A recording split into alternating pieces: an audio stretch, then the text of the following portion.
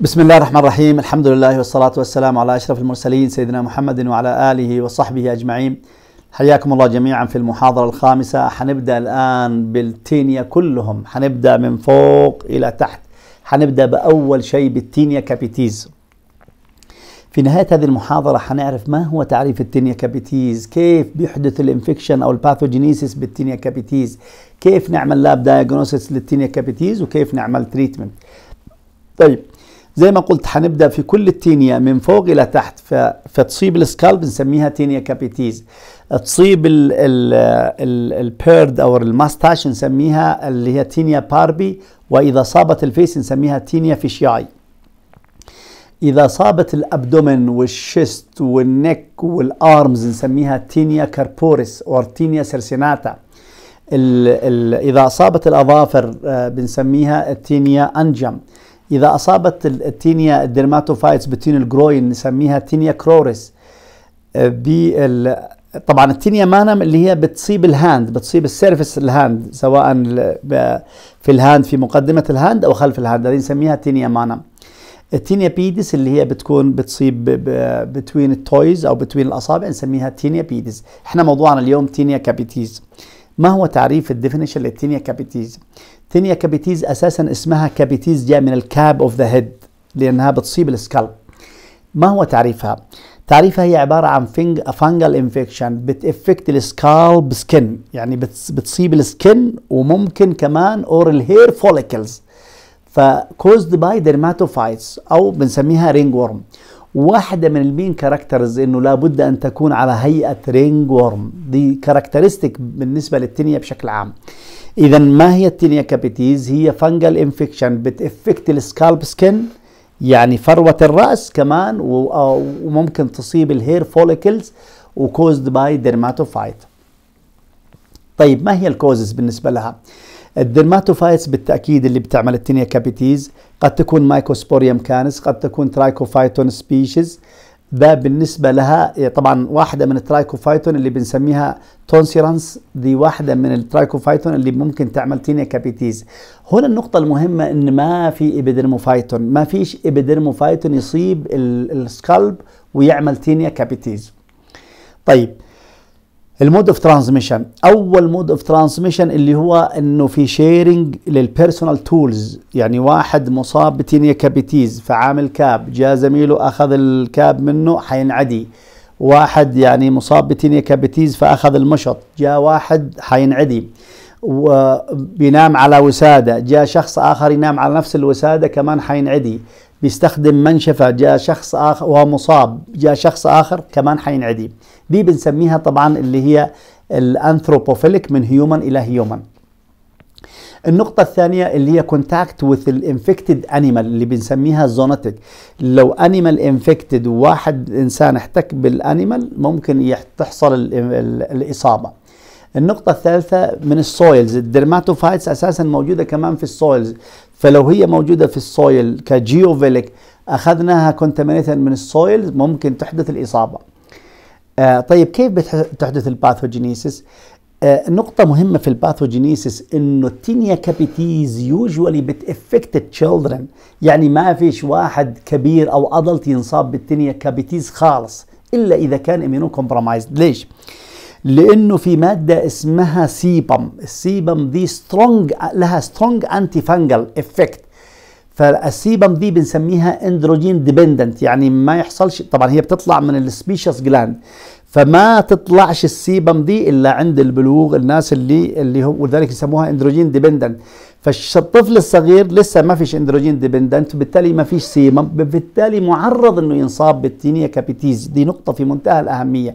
ولذلك ما نشوفش ال tinea capitis إلا في ال child طيب كيف بتحدث ال pathogenesis؟ dermatophytes زي ما قلنا ال Microsporum أو Trichophytons حيطلع digestive enzyme ال digestive enzyme دي من ضمنها ال keratinase حي حيعمل penetrating لل epidermis وبالتالي حيوصل كمان لل scalp وكمان حيوصل لل لل hair follicle وحيعمل damage لل hair follicle آآ آآ طبعا الآن لما يكون في hyphae وفي spore وال spore طبعا بتكون غالبا اللي هي ال arthroconidia أو arthrospores بتكون كالآتي بتعمل cover لل outside the hair. فإذا عملت cover cover لل outside the hair نسميها ectothrix. وهنا ما معناها؟ معناها إنها أصابت ال scalp وبالتالي لو ما أصابت ال scalp أصابت الشعرة أو بصيلة الشعرة من الخارج فنسميها ectothrix. كمان ال hyphae عند ال spores اللي هي ال arthroconidia و arthrospores دي بتصيب ال inside the hair shaft وبالتالي بتصيب ال hair follicle ومن هنا نسميها endothrix إنها ال spores هنا حتكون داخل داخل داخل ال hair inside the hair ولذلك يجوا يقولون لنا ممكن ال hair infection عندما تكون ectothrix caused by what وعندما تكون endothrix caused by what لما تكون ectothrix غالبا بال Microsporum canis ال Microsporum audouinii ال Microsporum mentagrophytes لما تكون endothrix غالبا بال Trichophyton violaceum Trichophyton tonsurans Trichophyton schoenleinii. طيب عاوزين نعرف ال patterns of hair lesions إيش إيش من patterns بيحصل في في ال hair lesions اللي إصابة ال scalp أول أمر اللي هي بنسميها scaly patch type ودي بنسميها dry whitish يعني عبارة عن زي ما أنتم شايفين dry ولونها أبيض. وهنا بتكون الإصابة في ال scalp وبالتالي لما تكون الإصابة بال scalp بتكون around ال hair shaft وبالتالي ال spore حتكون متجمعة هنا ectothrix يعني حوالين بصيلة الشعرة. وبالتالي هنا الإصابة بالتأكيد around ال hair shaft طيب. النوع الثاني يسموه ال black dot type وهنا إن ال Microsporum أو ال Trichophyton اللي هو ال dermatophytes بت invade ال hairs وبالتالي لو ما تعمل invade لل hair بتعمل sharp cutting لو ما تعمل sharp cutting خلاص تقتلع الشعرة من الجذر فيبان اللون الأسود اللي هو الجذر حق الشعرة ولذلك يسموها ال black dot type وهنا غالبا ال Trichophyton اللي بتعملها. هنا ال spore لأنها invade ال hair inside the hair ال spores حتكون endothrix. طيب النوع الثالث يسموه kerion وال kerion ده غالبا بيكون من ال zoonotic وهنا في inflammatory وفي abscess وفي painful ده بالنسبة لل kerion وقل ما عادش زي زمان. الأشهر هم الحقيقة ال black dot وال black dot واللي كمان اللي هو ال scaly. طيب النوع الرابع اللي هو favus. ال favus ده عبارة عن crust ويسموه scutula scutula ولونه ممكن أصفر وغالبا ده caused by Trichophyton schoenleinii طبعا ما عادش موجود الآن نادرا ما ما حد يشوف عملية ال favus. هنا نقطة مهمة جدا scutula scutula معناها مغرفة فيجي شكلها شكل مغرفة وفيها شعرة كذا حتيجي صورة إن شاء الله أوضح هي زي ما أنتم شايفين هاي شكل المغرفة وفيها شعرة دي scutula ولونها أصفر زي ما أنتم شايفين sulfur وغالبا caused by ال Trichophyton schoenleinii طيب كيف نعمل lab diagnosis أول شيء ال Wood's lamp examination إحنا اتفقنا إن الفطر بيعطي وميض. فاحنا بنشوف الشخص اللي عنده ال tinea ال capitis نعرضه في غرفة مظلمة لل ultraviolet rays على ال hair فحنشوف yellow green fluorescent هنا نقطة مهمة جدا. أهو شايفين كيف الآن ال fluorescent كيف لما عرضناه في ال fluorescent في الصورة اللي تحت. هنا في نقطة مهمة. ما فيش fluorescent مع ال black dot. ليش؟ لأنه ال spore هنا inside the hair فبالتالي ال ال ال ال ال fungus هنا أو ال dermatophytes ما هياش معرضة لل ultraviolet لأنها داخل ال hair فبالتالي ما نشاهدش fluorescent في حالة ال endothrix. طيب. نعمل الآن micro microscopic examination. نروح زي ما قلنا نعمل skin scraping بال sterile two slides ونعمل scraping على ال slide أو نعمل بال for forceps نأخذ شعرة ونحطها على ال slides. بعد كذا نروح نشوف بال KOH preparation زي ما اتفقنا من 10 إلى 20% وبنشوف ال hyphae زي ما أنتم شايفين ال hyphae characteristic ونقول ده عنده أكيد هذا tinea capitis زي ما قلنا إحنا بنواصل ال culture آه على أساس نشوف ال species لكن ذي كتشخيص that's enough وهو كافي. زي ما أنتم شايفين كيف ال hyphae شكلها هنا mycelium طبعا hyphae فوق hyphae فوق hyphae اصبحت mycelium هنا أنتم شايفين هنا قضية ال ectothrix. لو لاحظتوا هنا نقطة مهمة جدا اللي هو قضية إنه هذه الشعرة وال وال spores هي خارج الشعرة ال spores.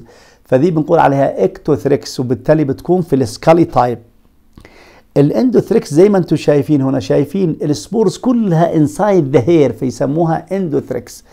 ممكن يكون زي ما أنتم شايفين هنا شايفين ال spores هنا خارج وداخل فنسميها endothrix وال ectothrix.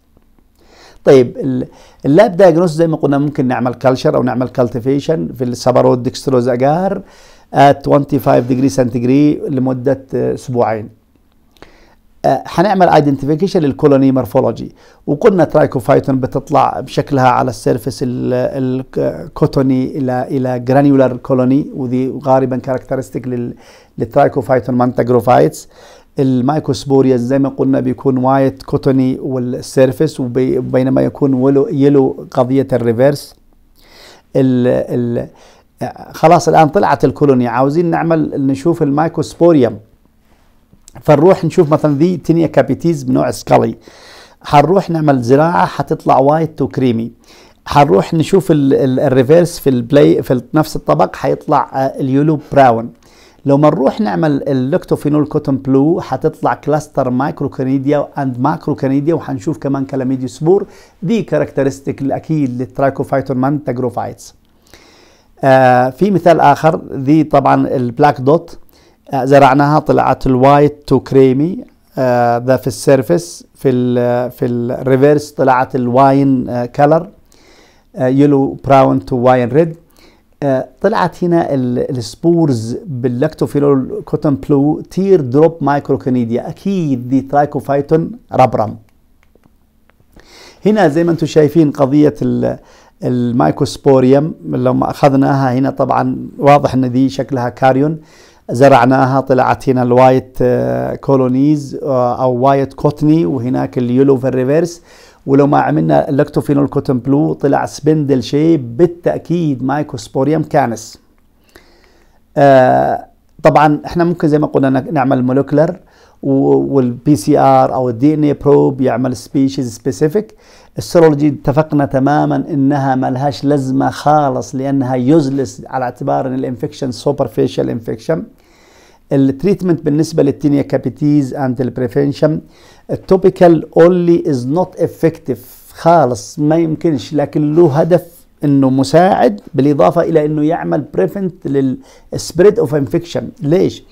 لأنه لما نستخدم ال topical كشامبو زي ال Nizoral بيقلل ال hyphae ويقلل ال spore وبالتالي حيقلل انتشار ال infection وبالتالي هنا لابد من استخدام oral في ال tinea capitis must be ال oral treatment أو essential ويستخدم لمدة ست أسابيع. ليش؟ لأنه هنا عشان يوصل العلاج يروح للدم ويروح يعمل penetrate لل hair follicle فلا بد أن يكون هنا oral treatment كنت معكم في موضوع ال tinea capitis. شكرا جزيلا لكم والسلام عليكم ورحمة الله وبركاته.